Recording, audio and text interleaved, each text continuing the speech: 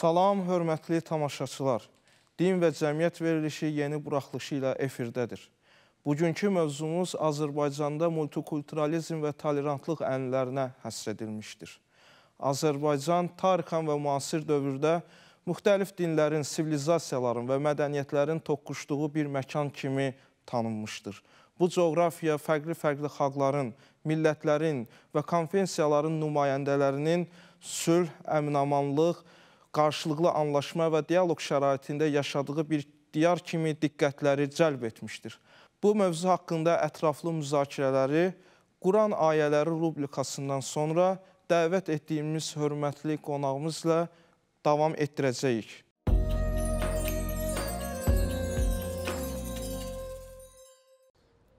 Əuzu billahi minəşşeytanirrahim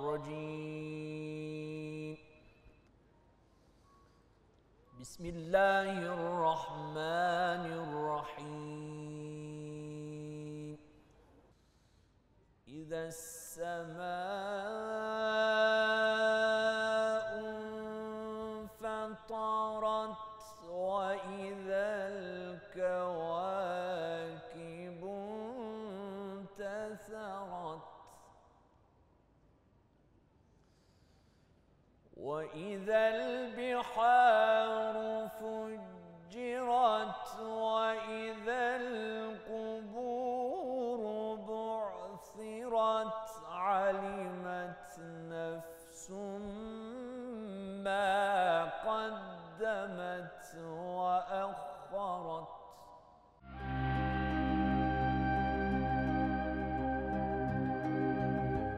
Mərhəmətli və rəhimli Allahın adı ilə.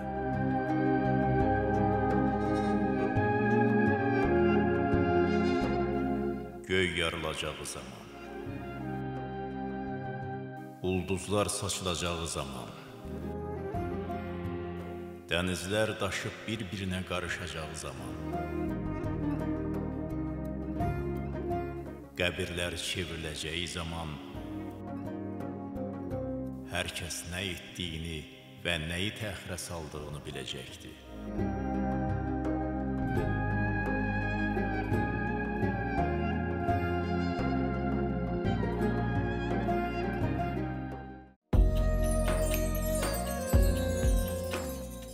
Bugünkü qonağımız Azərbaycan Texniki Universitetinin müəllimi, fəlsəfə elmləri doktoru, professor Əyyub Kərimovdur. Əyyub müəllim, xoş gördük. Sizi studiyada görməkdən çox şadıq. Əyyub müəllim, mövzumuz məlum olduğu kimi Azərbaycanda multikulturalizm və tolerantlıq ənlərinə həsr edilmişdir. Siz uzun illər bu sahədə tədqiqatlar aparırsınız. Dövlətimizi həm ölkə daxilində, həm xaricdə müxtəlif beynəlxalq konfranslarda mövzu ilə əlaqədar təmsil edirsiniz. Ümumiyyətlə multikulturalizm və tolerantlıqla bağlı nəzəriyyələr 20-ci əsrin ikinci yarısına etibarən dünya ictimaiyyətini, dünya elm xadimlərini maraqlandırmağa başlamışdır. Bu mövzu ilə əlaqədar müxtəlif nəzəriyyələr var, baxış bucaqları var.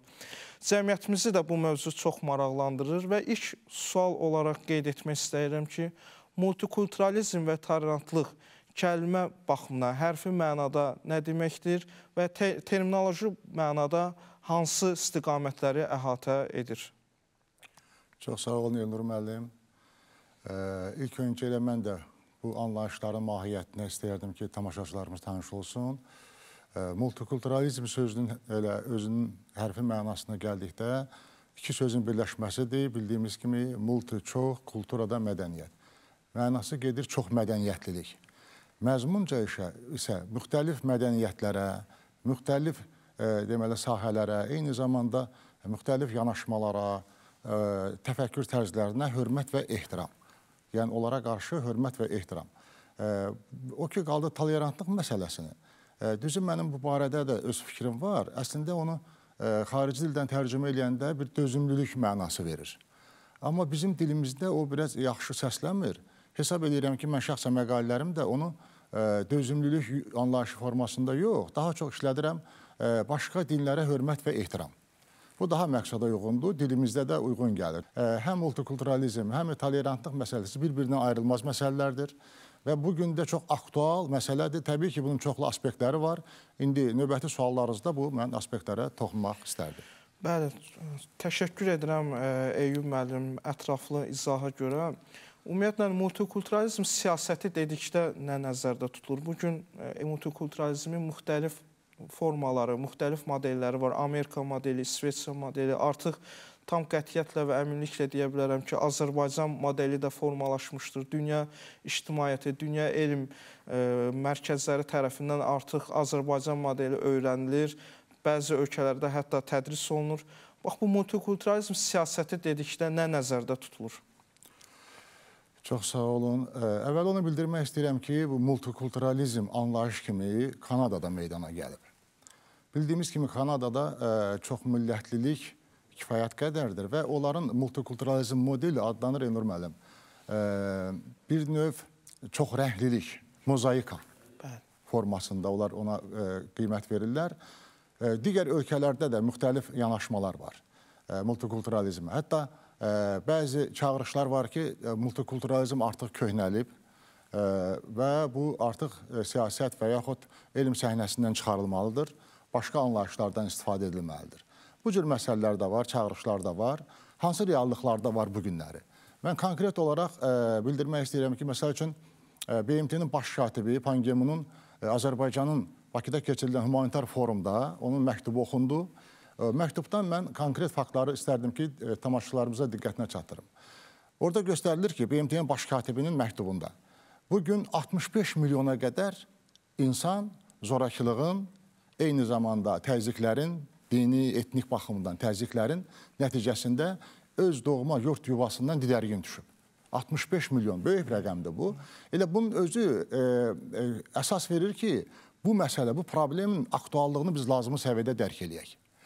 E, Bizim Azər o ki qaldı bizim Azərbaycanımızın modelinə. Məsələ burasındadır ki, bizim Azərbaycanımız modeli, Azərbaycan multikulturalizm modeli e, e, mən hesab edirəm ki, nəinki e, məzmun baxımından, həm də praktiki baxımından bu saat dünyaya nümunədir. Bildiyimiz kimi Azərbaycanda çoxlu e, bəzi rəqəmlərdə məsəl üçün 50-yə qədər xalq, millət, etnik qrup yaşayır. E, Bu 50-yə qədər xalq, e, e, millət, etnik qrupun, yəni tariximiz, tarixi proses dövründə bir dəfə də Azərbaycanda milli etnik zəmində hər hansı bir konflikt olmayıb, hər hansı bir e, ziddiyyət olmayıb. Bunun özü bizim e, Azərbaycan multikulturalizminin ənənələrini göstərir, tarixini göstərir ki, biz tarixən bizim xalqımız həm multikultural, həm tolerant xalq olub. O ki qaldı e, bugünkü dövr e, kontekstindən. Məsələ burasındadır ki, bizim e, ümumi liderimiz Heydər Əliyev bilirsiniz ki, həmişə digər xalqlara, millətlərə, etnik qrupa, onların dini, irqi, ondan sonra inam məsələlərinə çox böyük diqqət və ehtiramla yanaşmış və hər tərəfli qayğı ilə əhatə olunmuşdur. Azərbaycan yeganə ölkədir ki, e, digər dini icmalara münasibətdə İslam və digər dini icmalar heç bir fərq, fərq qoyulmur. Onlara da necə bizim Azərbaycan xalqının bilirsiniz ki, əksəriyyətimiz biz müsəlmanıq, ölkəmiz e, müsəlman, e, İslam dini biz inanırıq və müsəlmanlar da. Amma digər e, deməli inanclara, ondan sonra xristian, katolik, ondan sonra e, yahudilik və s. hamısına da e, yüksək səviyyədə, dövlət səviyyəsində e, siyasət yeridilir və bu siyasətin nəticələri bu gün reallıqdır. Bu gün hamımızın gözünün qarşısında biz bunu e, görürük. Mən e, eyni zamanda bildirmək istəyirəm ki, bizim e, bax elə bax bu Azərbaycan reallıqlarının e, dünyada bu cür təqdim olunması, Azərbaycan multikulturalizm dünyada bir nümunə olmasının göstəriciləri e, kifayət qədərdir. Və məsəl üçün konkret mən misal gətirmək istəyirəm. Papa e, deməli 2-ci İohan 2002-ci ildə e, baxmayaraq ki, Azərbaycanda e, məsələn rəsmi statistikaya görə 700-ə qədər katolik var. E, o Bakıya gəlib. 1 milyard 300 milyon katolikin mənəvi atası Bakıya gəlib. 2016-cı ildə isə Papa Fransisk Bakıya gəldi. 2016-cı ildə. Özdə mən bir e, xüsusən Papanın Fransiskin gəlməsində mən e, xüsusi elementlər sezdim. Nədir bu elementlər? Biz ki Azərbaycan ki Azərbaycan multikulturalizm modelini dünyada başladı təbliğ eləməyə. Bildiyimiz kimi Bakı Beynəlxalq Multikulturalizm Mərkəzinin bu, bu sahədə çox böyük uğurları var və Rəvan müəllim başda olmaqla böyük bir kollektiv işləyir. Əvvəllər isə Kamal müəllim Abdullayevin bildiyimiz kimi rəhbərliyi ilə çox böyük işlər görülmüşdü. Yəni bunun əsasları qoyulmuşdu. Bu gün artıq dünyanın 20-dən çox ölkəsində, 20-dən çox ölkəsinin ali məktəblərində Azərbaycan multikulturalizm modeli tədris olunur. E, həmin adamlar, hansı ki o gənclər, sanki tədris olunan gənclər sonradan dəvət olunur Azərbaycana. Azərbaycana və yay məktəbləri təşkil olunur, qış məktəbləri təşkil olunur. Özü bizim öz vəsaitimizlə onlar gəlirlər.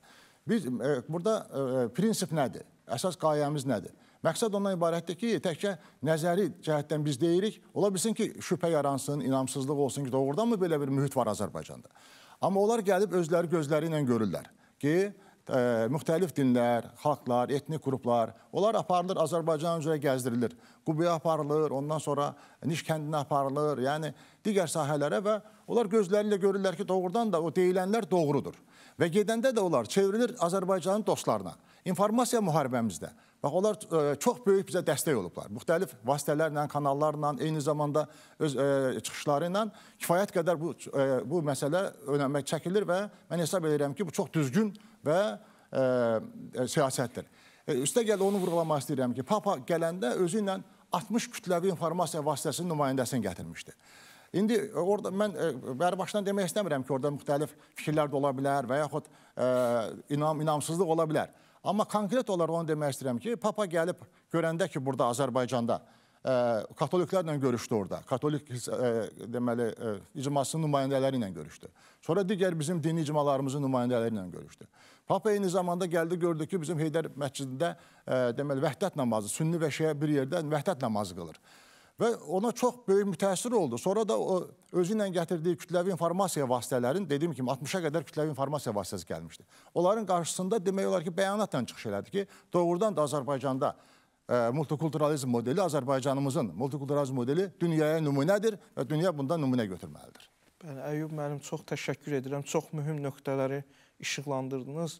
Qədim dövrlərdən bəri burada həm zərdüştülük, həm xristianlıq, həm yəhudilik və İslam dinləri əminamanlıq, qarşılıqlı anlaşma şəklində bir-biri ilə əlaqədə olmuşdur. Bax, bu da Azərbaycanın multikulturalizm və tolerantlıq ənlərinin tarixi köklərindən xəbər verir. Əyyub müəllim, bu yaxınlarda sizlə birlikdə işğaldan azad olmuş torpaqlara səfər etdik. Səfər çərçivəsində biz isə tarixi abidələri ziyarət edərkən mənfur qonşularımız tərəfindən maddi mədəni irsimizə ə, törədilmiş vandal aktlarını öz gözlərimizlə şahid olduq. Bax, bu məsələ ilə bağlı nə deyə bilərsiniz? Bu bizim bildiyimiz kimi ən e, belə həssas və yaralı bir yerimizdir. E, milli millət olaraq, xalq olaraq. E, Elnur müəllim, elə yaxşı yad, yaddan saldınız. Deməli, sizlə birlikdə elə biz bizim yuxarı Köfər ağa məscidinə getdik. Orada siz oradakı qəbir daşlarının üzərindəki yazıları oxudunuz. Mənim o təfəkkürümdən silinə bilməz. Deməli, o qəbir e, baş daşlarını sındırıblar, hərəsini bir tərəfə atıblar. Amma biz orada onların müəyyənlərinin hansının hansına mənsub olmağını sizin oxumağınız əsasında müəyyənləşdirdik, gətirdik, qoyduq yan-yana. Oradakılar da sağ olsunlar bizə bu kömək elədilər. E, ikinci bir məsələ. Və o siz orada oxuyanda da e, bir mənalı şəkildə tam məndə də aydın təsəvvür yarandı ki, yazılır ki, 1905-ci ildə ermənilər tərəfindən qətlə yetirilmişdir. Siz oxudunuz onu. Yəni bunlar nəyi göstərir? Bunu göstərir ki, bizim bu e, mənfur qonşumuz, bunlar bunlar təfəkkürlərində tamam başqadır. Məsəl üçün mən deyərdim ki, bir mənalı şəkildə bunların təfəkkürü xəstələndirilib. Xəstələndirilib. Gənclərin təfəkkürü onlarda xəstələndirilir. Məsəl üçün onların ideologiyası bizdə Azərbaycançılıq ideologiyasıdır.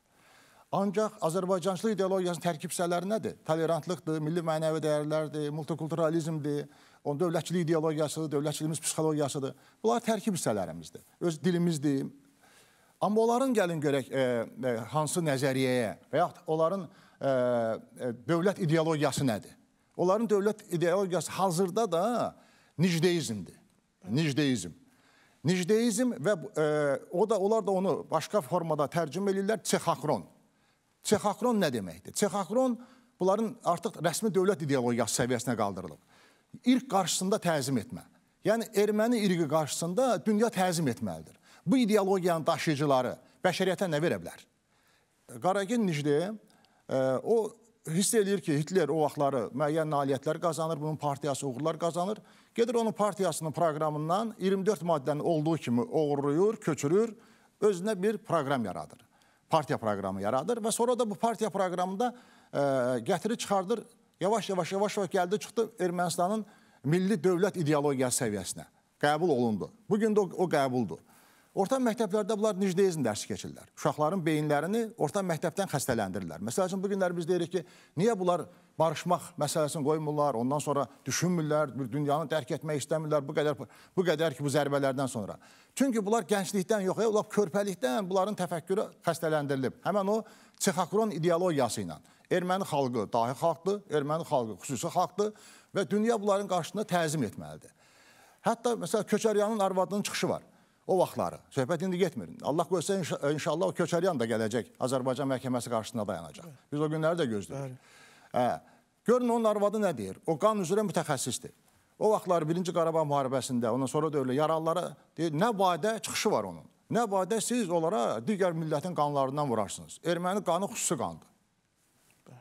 Və yaxud Köçəryanın Avropa Şurasında çıxışı. Bizim millətimiz genetik baxımdan Azərbaycanlılarla uyğun gəlmir.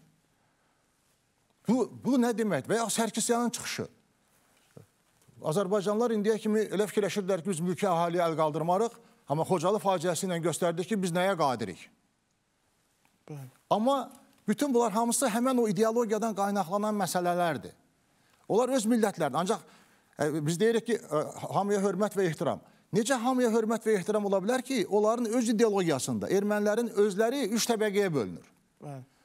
Deməli, Çexamart, Cavaxur, Taqanq. Taqanqlar ən aşağı təbəqə hesab olunur. Hətta mən bu müharibə dövründə, 2-ci Qarabağ müharibəsi dövründə e, paylaşımlar da etmişdim ki, ehtiyatlı olmaq lazımdır. Çünki bunlar özləri, öz o taqanqları istənilən vaxt ideologiyaları belə da qurban vermək olar. Ermənilərin ümumi mənafeyinə görə. Həmən o e, Sumqayıt hadisələri, digərləri bu kontekstdən yanaşmaq lazımdır. E, Sumqayıt hadisələrini kim yaratmışdı? Qırqaryan yaratmışdı. Yəni demək istəyirəm ki, e, onların özlərinin də, o, o, o erməni xalqının özünün də gözünü açmağın vaxtı gəlib çatıb. Biz o təbliğatlarımızla, bu çıxışlarımızla, bu verilişlərlə onların da gözünü açmalıyıq ki, siz hara gedirsiniz? Bu artıq sizin bu ideologiyanız həyata, həyat qabiliyyətini çoxdan itirib. Dünya tamam başqa prinsiplərlə yaşayır. Bəli. Çox əhəmiyyətli məsələləri qeyd edirsiniz. Ümumiyyətlə o ifrat erməni millətçi hərəkatlarının, ideologiyasının fəlsəfi mahiyyətlərini bizim üçün açıqladınız. Buna görə təşəkkür edirəm Əyyub müəllim. İndi isə növbə tamaşaçı sualı rubrikasınındır. Tamaşaçı sualını dinləyək, sonra müzakirələrimizi davam etdirəcəyik.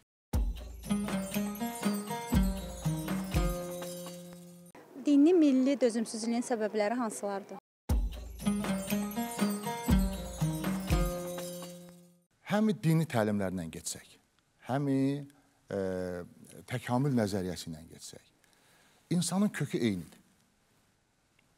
Dinimizdə deməli Hücurət surəsində 13-cü ayə bir sizi bir kişi və bir qadından yaratdıq. Sonra bir-birinizi tanıyasınız deyə xalqlara və qəbilələrə böldük. Yəni dinimiz bir mənalı şəkildə insanların kökünün eyni olduğunu göstərir. Elə bu onun fəlsəfəsidir ki, ey dünya, ey bəşəriyyət, sənin kökün eynidir. Təkamül nəzəriyyəsində də bir cəyrəlidən çox cəyrəliyə gəlib çıxır ə, e, ə, e, müasir insana, homo sapiens. Evet. Yəni bunun fəlsəfi, yəni bu fəlsəfi əsas elə budur ki, hamının kökü eynidirsə, biz niyə bir-birimizin arasında ayrı seçkilik, digərlər filanlar olmalıdır? Bu bir. İkinci, amma bunun səbəbləri nədir ki, indiki dediyiniz məsələlərin? E, mən bunun səbəblərini, Elnur müəllim, bir tarixi səbəblər var. Və hər şeydən əvvəl mən bunun səbəblərini görürəm müəyyən qüvvələrin həm siyasi, həm dini, həm iqtisadi, həm də mənəvi maraqlarında. Müəyyən güc mərkəzlərinin. Həmən güc mərkəzləri nə və ya hər hansı bir dediyim kimi təşkilatlar filanlara bunlar bunların sərfəli deyil ki, xalq dünya birləşsin, insanlar birləşsin, bir-birinə hörmət və ehtiramla yanaşsın. Qədim Romadan gələn belə bir prinsip var. Parçala və hökmranlıq et. Yəni bəşəriyyəti parçalayaq, istədiyimizi eləyək. Bəşəriyyət müəyyən ideyalarda, məsələlərdə bir araya gəlsə, bəşəriyyəti müəyyən məsələlərə yönəltmək çətin olacaq. Yəni o idarə edən qruplar, qüvvələr, idarə edən qurumlar, hansı ki dünyanı idarə etmək ə, həvəsi ilə çıxış eləyirlər. Onların yəni fəaliyyəti çətin çətinləşəcək. Bu bir amildir. İkinci bir tərəfdən ə, mən deyərdim ki, bu ziddiyyətlərin köklərinin birini elə bir, bir xeyli hissəsi də ə, müəyyən ə, mütəfəkkirlər deyim, deyim, hansı ki Avropa mütəfəkkirləri kimi qəbul olunur və s. müəyyən zəka sahiblərinin məqsədli və ya qeyri-məqsədli e, müəyyən ideyaları hazırlanması, müəyyən əsərlər yazıb ortaya qoymasıdır. Məsəl üçün, e, Brzezinskinin belə bir kitabı var. E, Böyük şahmat taxtası. Sonra e, e, deməli Fukuyamanın Yapon mənşəli, bilirsiniz ki, filosofdur, Bəli. alimdir, Amerikada fəaliyyət göstərir. E, Tarixin sonu axırıncı insan kitabları var. E, sonra e, Samuel Huntingtonun sivilizasiyaların toqquşması. Fikir verin. Əslində baxanda mən bunların hamısını oxumuşam və nəzəri təhlilini də e, verməyə çalışmışam. O toxumlar səpilir. Həmən o e, bəşəriyyətin bölünməsi, milli din ayrı seçkiliyi və s. və ilə axır. Samuel Huntingtondan bu gəlir yekunlaşdırılır ki, ey məsəl üçün Avropa ölkələri, ey xristian ölkələri, öz aralarınızdakı ziddiyyətləri unudun. Bundan sonra ziddiyyətləri başqa yerdə axtarın. Şərq-qərb, İslam, xristian. Nə bilim, qərb buddizm, e, Hind Hind bu- buddizm. Yəni cəmaatın, bəşəriyyətin diqqətini yönəldirlər bu istiqamətlərə. Əslində e, mən deyərdim ki, müəyyən dərəcədə bu e, dünya şuurunun, dünya ictimai şuurunun manipulyasiyası növlərindən biridir, sahələrindən biridir. Və dünyada olan mən deyərdim ki, həmən o ziddiyyətlərin, milli etnik ayrı seçkiliklərin kökü dediyim kimi milli, siyasi, dini, hakimiyyət, ondan sonra iqtisadi maraqlardadır. Mən hesab edirəm ki, Azərbaycanda multikulturalizm və tolerantlıq ənənələri ən yüksək səviyyədədir. Bu modeli biz qorumalıyıq, saxlamalıyıq. Eyni zamanda artıq bilirik ki, bu e, deməli bizim ideologiyamız Azərbaycançılıq ideologiyasıdır və onun tərkib hissəsi kimi multikulturalizm, tolerantlıq gedir. Bizim nəinki özümüz, indi biz əbədi yaşayası deyilik. Mən şəxsən öz universitet tələbələrimə, magistrlarıma, doktorantlarıma da ə, bu dəyərləri aşılayıram ki, bu elə bir dəyərlərdir ki, məsəl üçün bizi neftlə, qazla dünyada tanıyırlar. Amma intellektual ə, sərvətlə tanıtdırmaq lazımdır. Bəs Azərbaycan intellektual sərvətlər içərisində bizim multikulturalizm, tolerantlıq dəyərlərimiz ən öndə gedən sərvətlərdir. Bunu qorumaq lazımdır, inkişaf etdirmək lazımdır. Dünyaya bunu biz hərəkətlərimizlə, əməllərimizlə, baxmayaraq biz e, dünyanın xəritəsində o qədər də böyük dövlət deyilik. Amma biz öz nümunəmizlə bu dünyaya biz bunu Azərbaycan multikulturalizmi, Azərbaycan tolerantlıq dəyərlərini qəbul etdirməliyik. Hesab edirəm ki, bu sahədə də ziyalılarımız öndə olmalıdır. Maraqlı söhbətə görə Əyyub müəllim təşəkkür edirəm. Multikultural və tolerant dəyərlər ümumbəşəri xarakter daşıyır. Azərbaycanın zəngin maddi mədəni irsə və tolerantlıq ənənələrinə malik olması artıq dünya ictimaiyyəti tərəfindən etiraf edilən həqiqətlərdəndir. Azərbaycan dövlətinin və cəmiyyətinin gücü elə məhz onun milli, dini, mədəni və lingvistik müxtəlifliklərindədir. Əslində müxtəlifliklər, fərqliliklər bir xalqın, bir millətin, bir cəmiyyətin əsas inkişaf amillərindən biridir. Sonda sözlərimi bir Quran ayəsi ilə yekunlaşdırmaq istəyirəm. Biz sizi bir-birinizi tanıyasınız deyə müxtəlif xalqlardan, qəbilələrdən yaratdıq. Allah qatında ən üstün olanınız isə ən pəhrizkar, ən təqvalı, ən faydalı olanınızdır. Sağ olun, salamat qalın.